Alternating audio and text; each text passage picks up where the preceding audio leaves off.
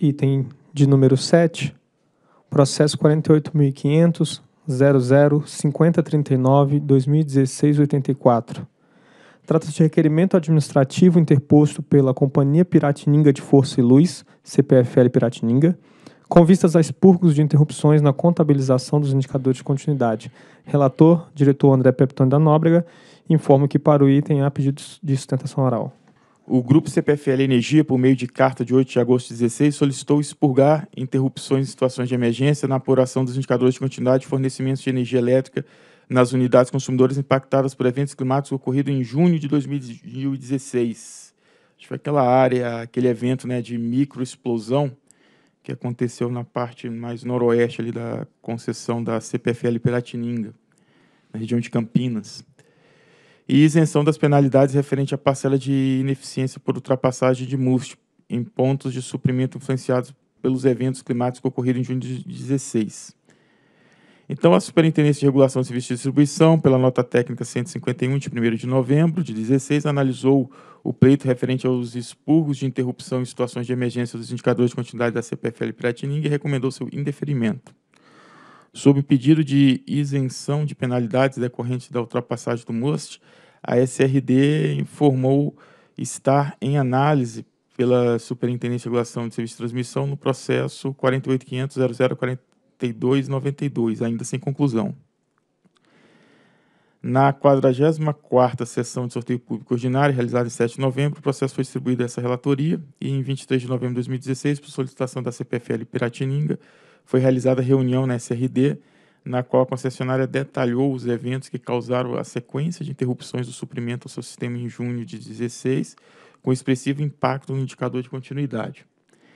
Também apresentou as medidas adotadas em caráter emergencial para restabelecer o serviço. A distribuidora se comprometeu a enviar nova correspondência à ANEL apresentando detalhadamente o impacto das interrupções sobre os indicadores, de modo a possibilitar a reanálise do caso pela SRD. E por intermédio de carta de 1 de dezembro, a CPFL Piratininga encaminhou tais informações encaminhou tais informações complementares para avaliação da superintendência.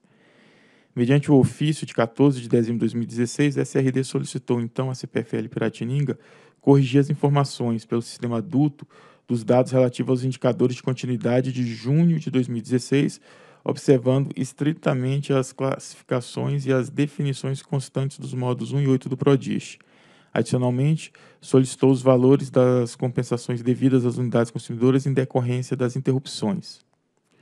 E, em resposta, a concessionária, na carta de 7 de 23 de janeiro de 2017, informou que nos dias 1, 4 e 5 de junho, durante fortes temporais no estado de São Paulo, ocorreram queda de torres no sistema de transmissão da CETEP, e esses eventos, a priori, não provocaram interrupção no fornecimento de energia elétrica. No entanto, a subestação oeste, também de propriedade da CETEP, que é fonte importante do suprimento para o sistema de distribuição da CPFL, Piratininga, passou a operar de forma radial via Embu, Guaçu, por meio da linha de transmissão de 440 kV Oeste-Embu.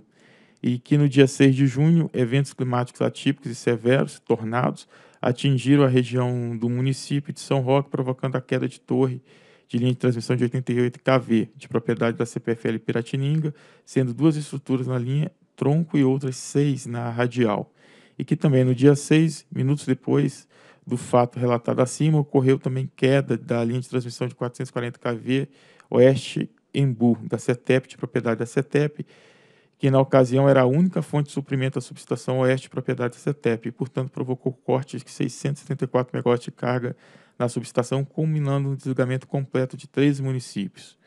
Então, por meio da nota técnica 13, a SRD recomendou que sejam desconsideradas as interrupções nos suprimentos ocorridas no mês de junho de 2016, apenas no cálculo da compensação a ser paga aos consumidores, mas que se preserva no histórico da empresa, é o relatório.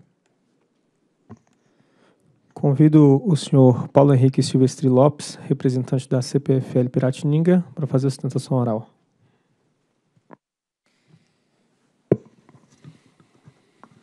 Bom dia a todos, senhores diretores. Vamos comentar rapidamente aqui o, esses eventos ocorridos em junho de 2016. A nota técnica emitida pela SRD, que analisou, esses analisou todos os fatos que foram relatados, qual foi o impacto nos indicadores. É, o caso da Cetril, que é, um, é uma concessionária que é, é atendida pela CPFL é, Piratininga, e qual é o pleito da, da CPFL Piratininga. Bom, esses eventos ocorreram no mês de junho de 2016, no estado de São Paulo, nós tivemos 16 circuitos da rede básica é, danificados. Tivemos, no caso dessa região de Sorocaba, o desligamento completo de 13 municípios da CPFL Piratininga. Ela possui 27, então metade, praticamente, dos municípios ficaram sem energia, porque as quatro linhas de rede básica que atendem a SE Oeste, que atende toda essa região, é, foram derrubadas aí por fortes vendavais. Aqui mostram, algumas fotos mostram esse fato. Então, vamos comentar um pouco sobre a nota técnica da SRD. Então, a SRD é, reconheceu a excepcionalidade do evento, é, alega que deve ser tratado de forma diferenciada pelos fatos que a gente já comentou, em relação à aplicação do regulamento vigente, reforça a magnitude atípica do evento e reconhece os impactos nos indicadores de continuidade da CPFL Piratininga. Propõe que essas interrupções sejam desconsideradas no caso da, no cálculo das compensações mas, entretanto, conclui que deve ser mantido esses, eh, esses indicadores, o cômputo deles, na, na, desses eventos, no cômputo dos indicadores individuais e coletivos. E também que seja feito o pagamento de compensações às distribuidoras acessantes seu sistema, uma vez que elas têm a obrigação de efetuar também compensação a, aos seus consumidores. É, aqui a gente comenta um pouco o impacto é, para demonstrar realmente a excepcionalidade do fato. Na nota técnica, com as informações disponibilizadas pela, pela distribuidora, é, a gente observa que o, o limite da empresa de 7,34 horas e as Interrupções no suprimento representam 20% desse limite, de, é, foi 1,47.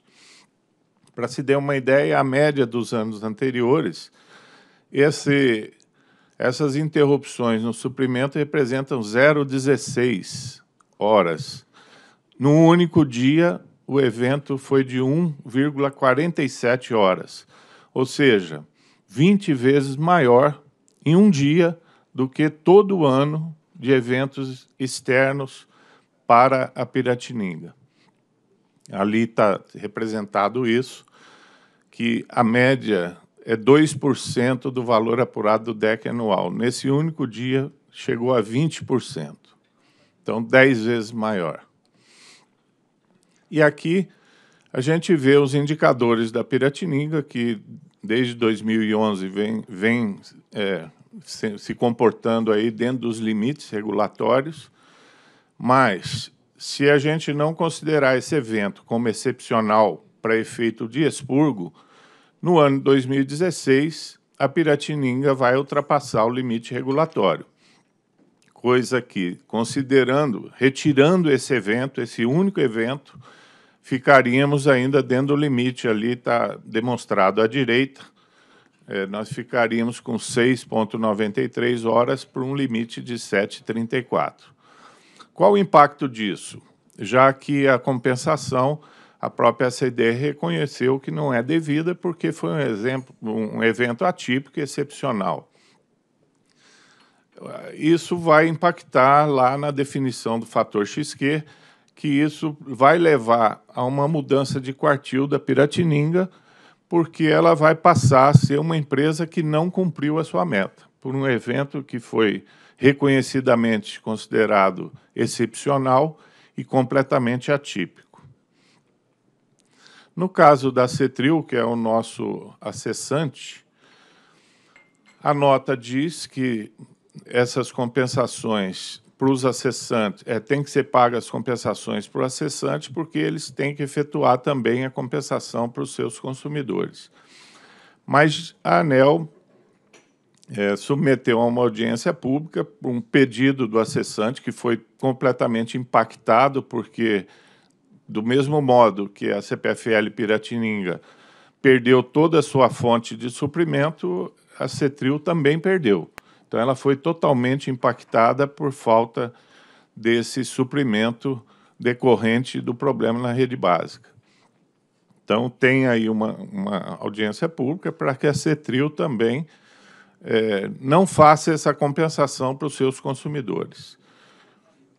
Bom, diante disso, então, nosso pleito é que autorize a Piratininga a expurgar esses indicadores individuais e coletivos, pelo motivo que eu já comentei, que isso vai impactar lá no fator XQ e vai, vai ocasionar uma mudança de quartil por descumprimento de meta decorrente de um evento totalmente atípico e que também sejam desconsideradas é, as compensações a serem pagas às distribuidoras acessantes, já que também há esse pedido para que seja feito o expurgo aí das compensações para os consumidores da, da Cetril. Era isso.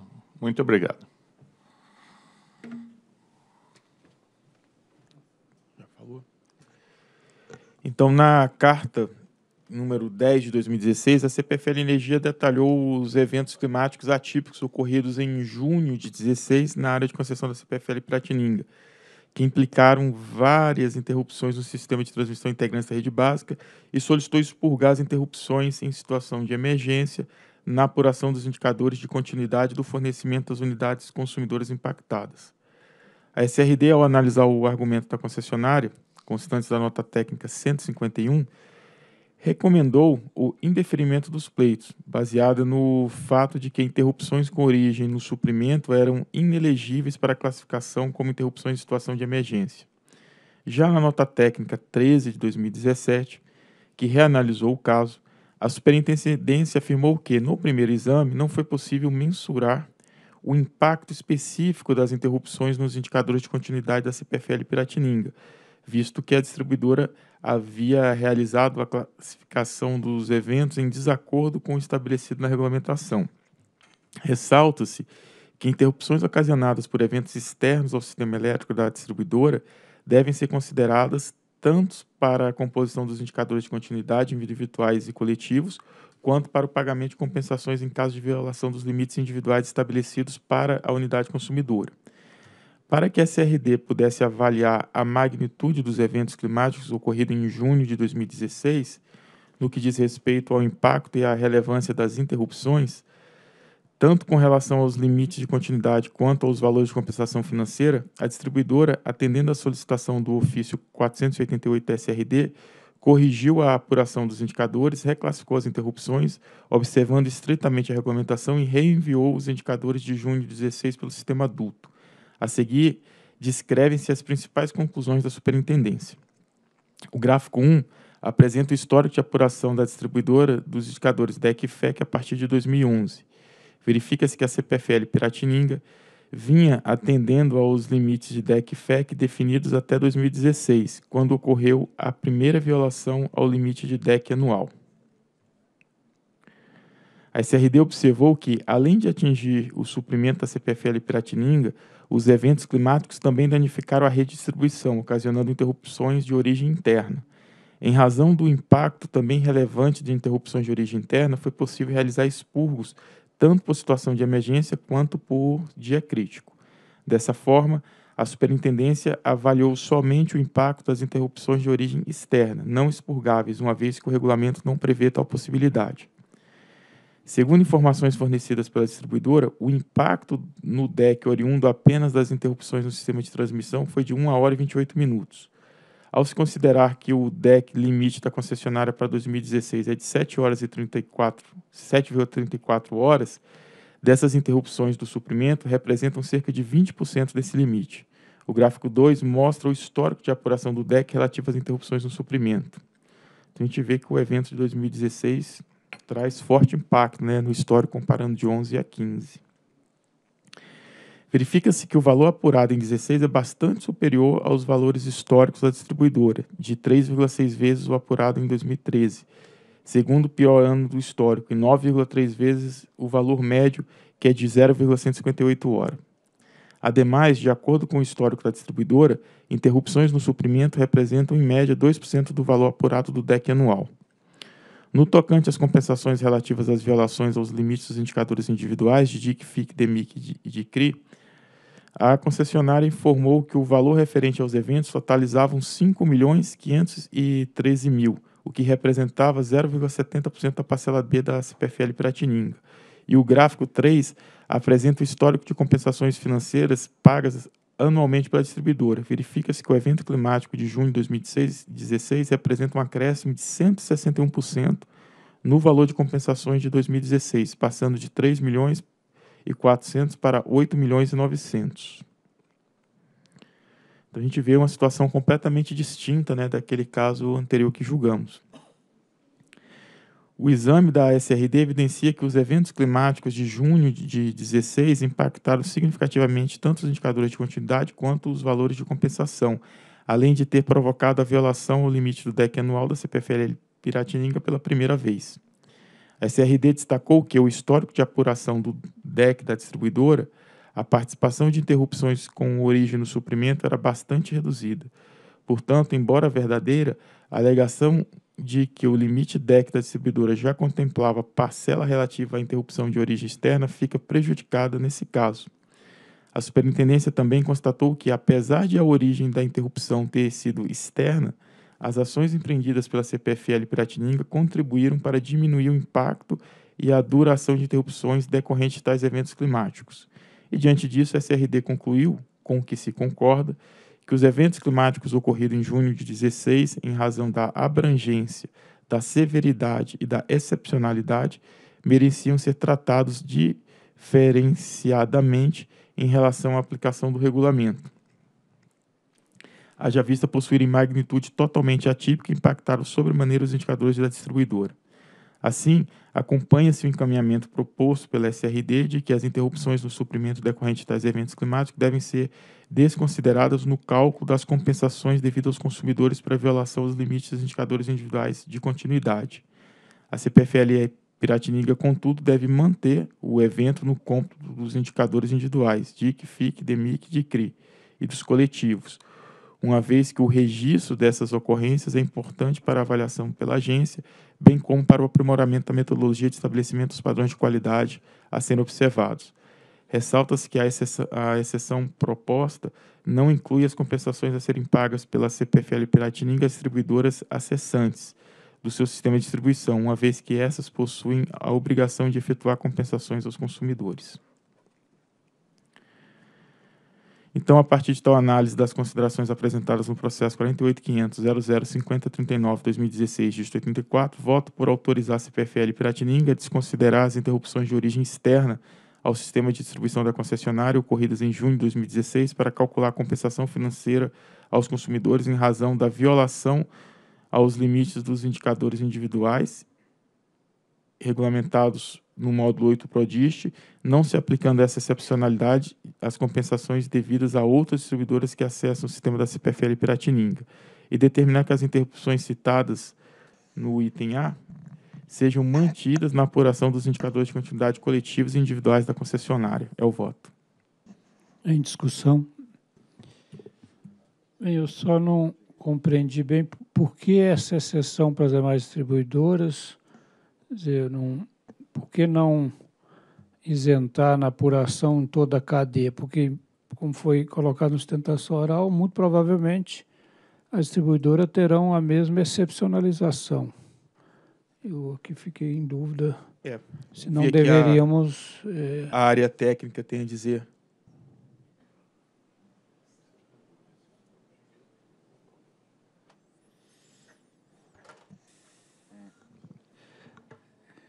Bom dia.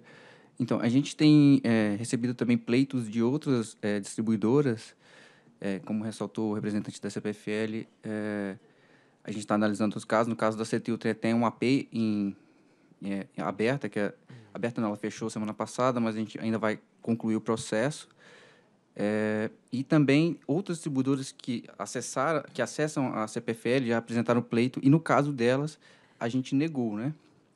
A gente negou a, a, a, o pleito delas. Então, a gente entendeu que seria razoável, nesse caso, porque o impacto nelas, em algumas delas, não foram tão relevante como foi no caso da CPFL, a gente entendeu que a CPFL deveria, então, é, manter a compensação a essas distribuidoras. Ou seja, em outras palavras, assim, até simbólico que o momento que a gente analisou o caso anterior, onde não acatamos por demonstrar que não afetou toda a área de concessão, né? Foi localizado em três conjuntos, total de 144, não afetou significativamente o deck da empresa. Nesse caso, ocorre ao contrário. A gente vê que a compensação apresentou um valor significativo, 160%, afetou completamente o deck da empresa. Então, pelo que eu estou compreendendo aqui do, do encaminhamento da área no qual a gente concorda, é que nós não vamos acatar essa excepcionalidade de imediato para as outras distribuidoras. Elas têm que aqui fazer o pleito e, exemplo do julgamento anterior, avaliar o quanto que essa excepcionalidade afetou a, a sua área de concessão. Uma, é isso, uma vez caracterizado que a magnitude do evento afetou todos os conjuntos e compensação, então é passível de, de ser acatado. Mas não é direto aqui a análise, em função de que o indicador externo, a gente não, não temos uma regra e não, não abate, né? a, situação, a não ser em situação excepcional devidamente comprovada. É isso que vocês estão, estão colocando. Eu, eu entendi diferente. Inclusive pela forma como está escrita. Não se aplica excepcionalidade de compensações devidas a distribuidoras e não a consumidores. Ou seja, essas distribuidoras que acessam vão receber a compensação da CPFL e vão repassar a compensação aos seus consumidores. É isso, né? Na devido processo. Porque senão aí, aí a redação é outra.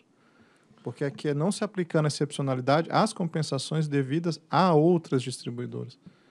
É, pelo que eu tinha entendido, é. era isso. Como ele negou o pleito dessas distribuidoras, né? nela não se aplica excepcionalidade, se não se aplica excepcionalidade, tem compensação. Agora tem uma cadeia de compensações. Sim, mas é, é essa, talvez a, a ideia seja, então, o que o André explicou e o colega da SRD, porque, pelo que eu entendi, ainda tem algum caso que ainda está em análise, no caso da cooperativa que foi mencionado. Certamente parece não fazer sentido é, cobrar a compensação da CPFL e isentar a cooperativa para os seus consumidores. A cadeia tem que ser coerente. Então, o que eu entendi que o André colocou é Ok, para aqueles casos que nós já negamos para a distribuidora o repasse para o consumidor, parece fazer sentido também não, não isentar a, a Piratininga. Agora, para aqueles casos que nós ainda não analisamos, se eventualmente nós concedermos, eu acho que aqui também tem que isentar a concessionária. Imagino que é isso que ficaria aberto, quer dizer, por enquanto está sendo negado. Mas naqueles casos da suprida pela concessionária, pela Piratininga, se lá for concedido, parece que faz sentido aqui também conceder, senão fica incoerente. Mas aí viria no dispositivo do outro processo, né? Para fechar a cadeia lá, né? Sim, sim. Mas eu digo, aqui não é um. É, talvez, talvez fosse o caso de ajustar nesse sentido, para deixar abertura para, naquela situação, a gente colocaria a isenção. Quer dizer, não, não faz sentido é, é, dar, é quebrar essa lógica no, no, na cadeia, não é isso? É, é essa a ideia, né? né? Às vezes basta um adjetivo, né? De imediato. É, qualquer coisa assim. É só não, não deixar aqui, porque senão ah, não, já exauriu o processo. Não. Eu acho que é importante deixar abertura para recepcionar uma situação como essa. Agora, vocês falaram uma questão que agora eu fiquei aqui em dúvida, porque por que que na cooperativa nós abrimos uma audiência pública, aqui nós não abrimos ou abrimos? Estamos é fechando. Não, mas eu acho que não abrimos é, audiência pública para analisar a interrupção, não, né? Não, Foi isso? Fala, falaram que sim. Né? Para analisar a inter, interrupção? Expurgo. Não, porque afeta o consumidor. Acho até que está certo. Eu não estou nem questionando abrir audiência pública. Eu estou só não, mas é porque a audiência pública da cooperativa, se eu não me engano, era para o limite de deck, considerando a fragilidade lá do deck externo, né? Aí é o limite de DEC. Aqui a gente não está alterando o limite. Não, não sei. Eu entendi que é, foi para discutir Não, esse mas assunto. porque a- acho que nós nunca abrimos para analisar a ocorrência, nunca abrimos audiência pública para analisar a ocorrência em nenhuma empresa. Né? Bem, eu, eu, eu pergunto à área. Nós abrimos para discutir esse, esse assunto na cooperativa. Foi esse assunto. Então, o que vocês estão dizendo, na cooperativa nós abrimos. E parece até que faz sentido, porque isso tem afetação dos consumidores, tá certo? Aqui nós não abrimos. Eu estou só pensando que talvez no, no futuro a gente uniformizar, né? Ou abre para todo mundo ou não abre. Eu até acho que é mais próprio abrir, porque isso tem afetação da concessionária e do consumidor. Então é, é- é legítimo. Eu não estou questionando abrir o dinheiro. Mas aqui talvez não, não, não sendo até então a prática, talvez não valha a pena. É, aqui está pronto para conclusão, mas assim, só estou sugerindo que a gente, a partir de então, a gente. Agora, Romeu, tem a essa uniformidade. abrir audiência pública para analisar tudo quanto é ocorrência, você imagina o que vai virar isso daqui. Jurosa, nós temos que cumprir o Não, dispositivo mas- legal. A lei diz Mas isso. a lei não diz para a gente abrir audiência pública para analisar a ocorrência. Não, claro que não, mas ela diz Então, quando é- tem afetação de direito dos diversos agentes. Mas a gente faz análise em alta inflação e um monte de coisa que afeta direito também, não abrimos audiência pública. Isso depois nós podemos É, eu discutir é- internamente. Eu não estou dizendo que é para abrir, estou dizendo que tem que ter uniformidade. Se abrimos para um, devemos abrir para outro. O procedimento é bom que seja uniforme. Eu eh, acho que eu tô, o que eu estou solicitando é a área para fazer uma avaliação à luz da legislação, da regra. Se cabe abrir, passamos a abrir para todo mundo. Se não cabe abrir, não devemos abrir para nenhum agente. Mas voltando o ponto aqui, o que eu é, então, é, sugiro, André, talvez então deixar só essa abertura, porque naqueles casos que eventualmente a gente acatar de isentar também, aí a gente faz na, na, na cadeia. Tá? Aí a gente acata tal, tal adjetivo que o Tiago mencionou. Uhum. Eu acho Não que, se aplicando de imediato essa excepcionalidade, não é isso? Uhum. acho que fica, fica abertura. Sim. Ok. Ok. Em votação. Eu voto com o relator. Eu também voto com o relator. Também acompanha o relator. Também voto com o relator. Proclamo, então, que a diretoria decidiu por autorizar a Companhia Força e Luz Piratininga, CPFL Piratininga, a desconsiderar as interrupções de origem externa ao sistema de distribuição da concessionária, ocorridas em junho de 2016, para calcular a compensação financeira aos consumidores em razão da violação dos limites dos indicadores individuais de continuidade DIC, FIC, DEMIC e DICRE, regulamentados no módulo 8 do PRODIST, não se aplicando de imediato essa excepcionalidade às compensações devidas às outras distribuidoras que eh, acessam o sistema da CPFL Piratininga. Também determinar que as interrupções citadas no, na linha A sejam mantidas na apuração dos indicadores de continuidade coletivos individuais da CPFL Piratininga. Próximo item.